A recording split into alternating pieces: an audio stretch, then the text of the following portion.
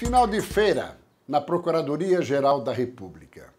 Nessas últimas semanas de Rodrigo Janot, o que se tem mais percebido é um tal de desintocar denúncias e investigações que ele poderia ter encaminhado ao longo dos três, quatro anos de sua gestão. Foram dois mandatos.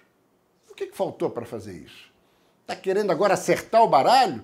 Está querendo passar a impressão de que não estava a proteger o PT e seus asseclas ligados a Lula da Silva?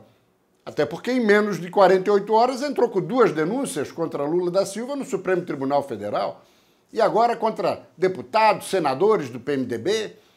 Isso depois de uma delação premiada com vantagens e benesses aos executivos da JBS, vantagens e benesses inaceitáveis.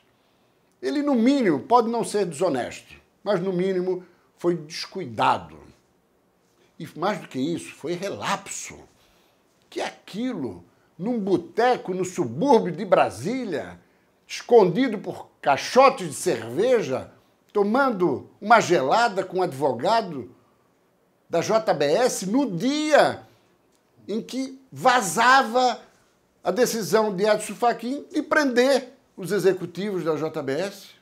Mas o que, é isso? Encontrou o cara, ocasionalmente, o que é pouco provável, lá naquele cantão do subúrbio, mas que partamos do, do princípio que tenha encontrado mesmo.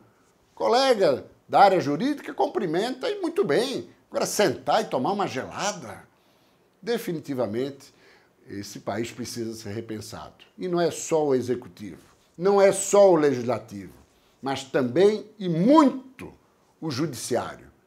Quando se fala em judiciário, se fala também em Ministério Público.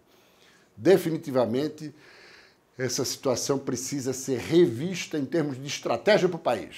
O país está precisando de uma Assembleia Nacional Constituinte exclusiva, onde se pince figuras estratégicas de vários segmentos da sociedade, referenciais, figuras conceituadas, para estabelecemos um novo arcabouço de país, um novo arcabouço da estrutura de poder no Brasil. É isso aí.